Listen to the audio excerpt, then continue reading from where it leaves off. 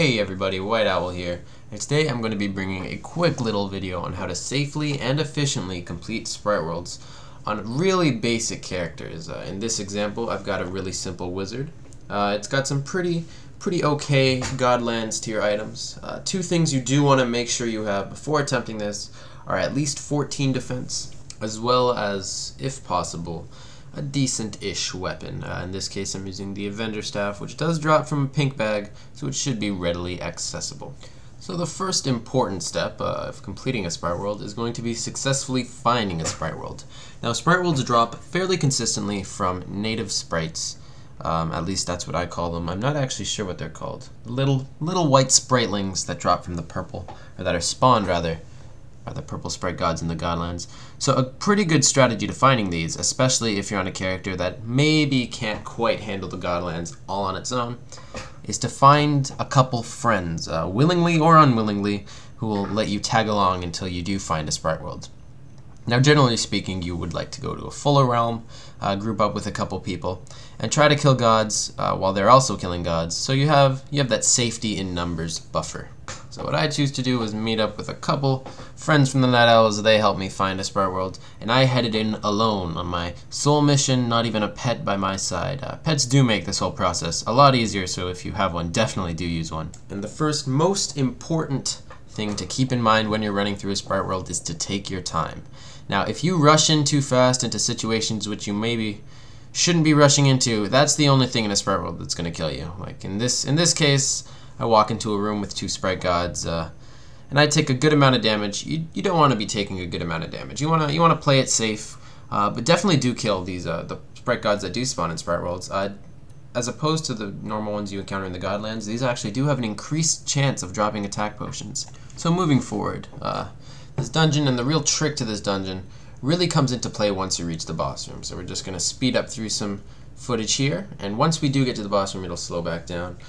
And there's one thing you want to do. Once you get to the boss room, you just want to walk up and uh, just let let Limon know that you're there. Uh, you just walk up, he'll start flashing green, and you want to back off as far away as you can get to him just hug a wall. And now he's going to shoot out seven of these circular, the, the radial kind of, the red shots. Uh, these don't hurt too much, but you don't want to avoid hitting them. And after he fires seven, he's going to spawn his elements. And his elements are where you want to sit. Uh, you want to sit right between them.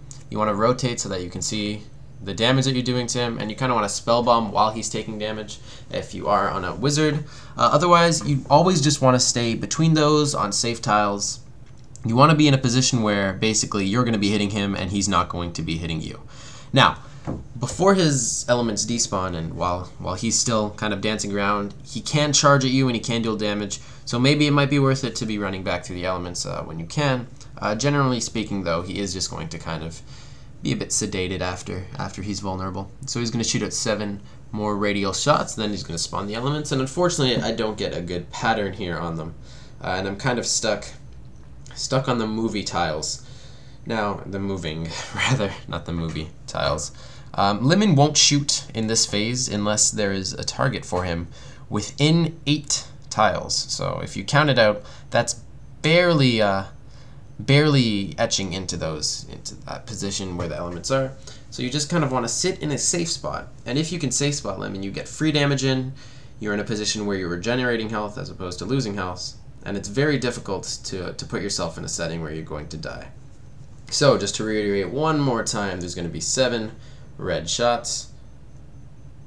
He's going to spawn his elements.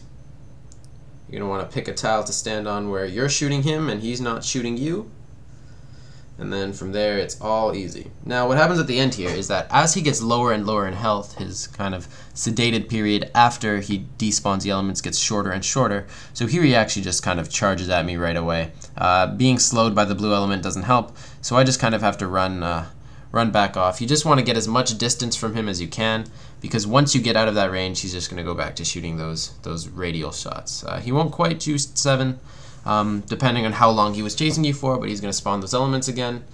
Uh, you just walk up, shoot him, and once he dies, those the Limon elements will despawn. Those those turrets are going to die. You can just get to walk up, pick up your loot, and that's everything. So, thanks for watching, and until next time, W H Y T D L L.